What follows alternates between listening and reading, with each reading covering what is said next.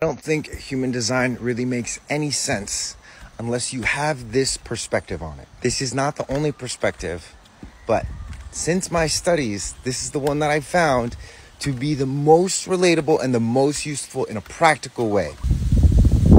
These are my sunglasses.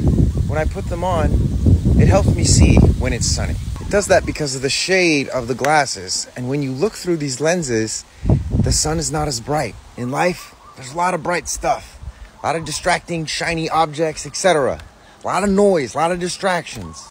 Human design can be like your pair of shades, so that instead of being blinded by the sun with this look on your face all the time, you can put the lens on and see with a little bit less distractions. That being said, human design has so many distractions in it, so many things to learn, so, so many things with infinite depth. It's a rabbit hole, like a really deep one. See, human design is not necessarily reality, okay? It's a lens by which you're able to view reality. And as I said before, that lens does a lot of really cool things, like block out a lot of unnecessary distractions. However, if you confuse the lens that you're looking through, human design, for reality, you are also fucked. The goal with human design is not to live your life based off of what a chart tells you. It's kind of like sunglasses with GPS. Not only does it block out the distractions, but it also gives you direction, what to do in particular moments,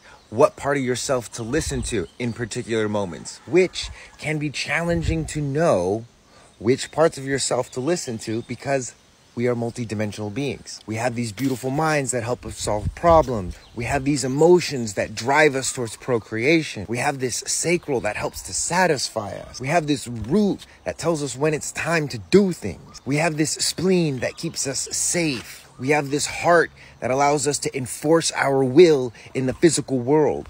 We have this throat to express ourselves. So if you're new to human design, or maybe you've been here for a while, I want to remind you that when you put the sunglasses on, left lens is strategy, right lens is authority. And it goes much deeper.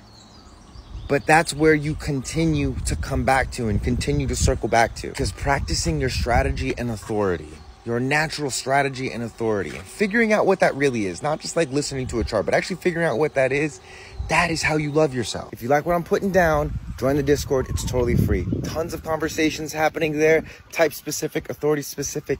It's awesome. And if you want to go deeper with me, you can either book me for a session or you can buy one of my automated reports. Link is in the bio.